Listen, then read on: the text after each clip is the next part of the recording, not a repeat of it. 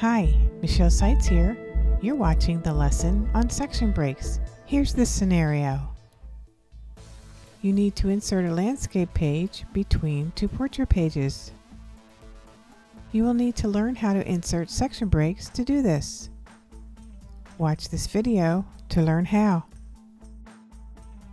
In the portrait page, go to the Layout tab, click on it, and in the Page Setup group, click the down arrow next to Breaks and click Next Page. Your cursor should now be in the top of the next page. As you can see, we are on page 2. We're going to repeat these steps again to insert another section break next page. Go to the Layout tab, click the down arrow next to Breaks, and click Next Page. Now you can see we have three pages. We want to go to the top of the second page. You can see we are on page 2. We need to be in the header of the second page. To do this, go to the Insert tab and in the Header and Footer group, select Header. There are many choices, but we want Edit Header at the bottom of the group. I am now in the header of the second page. When I click Edit Header, a new tab is now available. The Header and Footer Tools.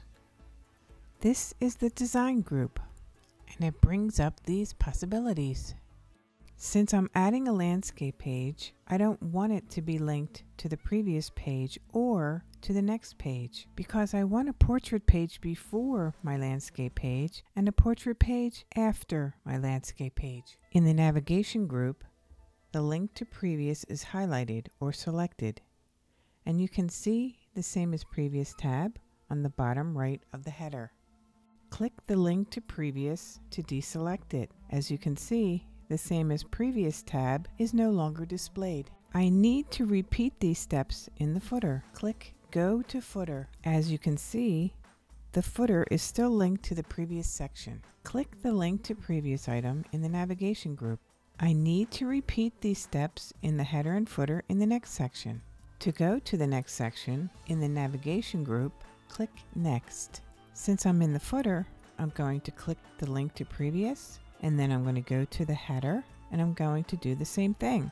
Click link to previous. Now we want to close the header and footer.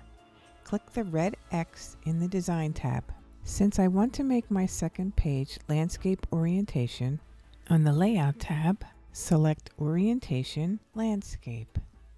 Now as you can see, we have a portrait page on page 1, a landscape page on page 2, and a portrait page on page 3. Since I need to insert a table on my landscape page, I want to see my paragraph marks. I want to make sure that I'm on the correct position on the page. To do this, go to the Home tab and in the Paragraph group, click on the Show Hide icon. Now I can see my paragraph marks and my section breaks. Before I insert my table, I want to make sure my cursor is before the section break.